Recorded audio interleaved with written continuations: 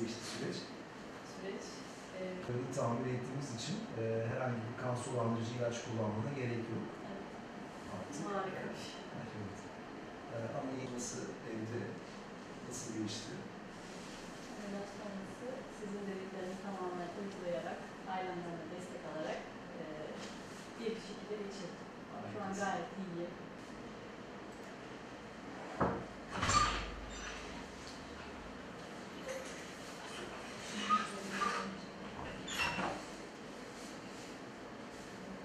27 yaşında hem doğumsal hem de edinsel dediğimiz yani kazanılmış bir kalp hastalıkları e, mevcuttu hastamızda.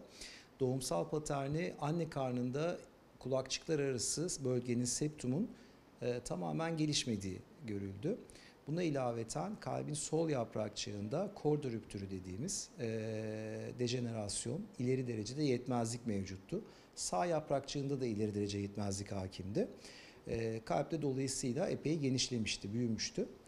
Bize gelmeden önce e, bu kapakçıkların çürüdüğü ve e, değiştirilmesi gerektiği söylenmiş yavrumuza. Tabii böyle olduğu zaman da ömür boyu kan sulandırıcı kullanması gerekecekti. Bu hem doğumsal hem de kazanılmış kalp hastalıkları bir arada olan yavrumuzu kabul ettik. E, muayenesini gerçekleştirdik, ayrıntılı tetkiklerini yaptık. Kendi konseyimizde değerlendirdik. Ameliyat sırasında bu anne karnında gelişmemiş olan septum dediğimiz bölgeyi kendi kalp zarıyla baştan onardık güzelce.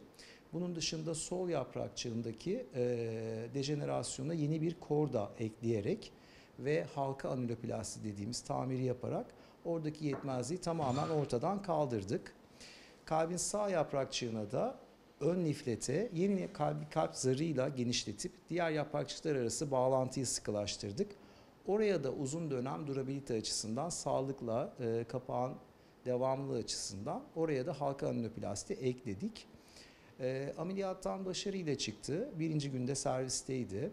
E, bir hafta olmadan da sağlıkla taburcu ettik. Onların tabii e, böyle sağlıklarına kavuşması, ışıklarının parladığını görmek çok değerli bizim için. Bizim gibi merkezlere zaten bu tarz hastalar e, birçok yerden yurt içi yurt dışı refere ediliyor. Her yaştan hem doğumsal olsun hem kazanılmış olsun e, her türlü kalp ameliyatını başarıyla gerçekleştiriyorum. Yani şöyle ilk hastalığımı zaten yeni öğrendim. Tesadüfen hastaneye gidip e, ameliyat olmam gerektiğini öğrendim. Kalp kapakçıklarımın değişmesi gerektiğini, metal kapak takılacaklarını falan söylediler. E, Birçok hastane gezdik. E, sonrasında Babiran Hoca e, bize tavsiye ettiler ve buraya geldik. Babiran Hoca ile konuştuk. Hani neler yapılabilir. O çok iyi. Yani kafamızda hiç soru bırakmadan bize her şeyi anlattı. Çok pozitif ve çok e, içten bir kişiliği var. E, aynı şekilde servisteki bütün doktorlar öyle. Yani sadece benimle değil, ben bütün doktorları hani orada kaldığım süre zarfında e, takip ettim.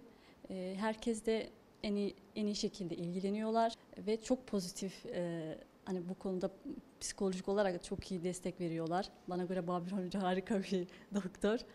Kendim şu an gayet iyiyim. Hmm, Yani bomba gibiyim öyle söyleyeyim.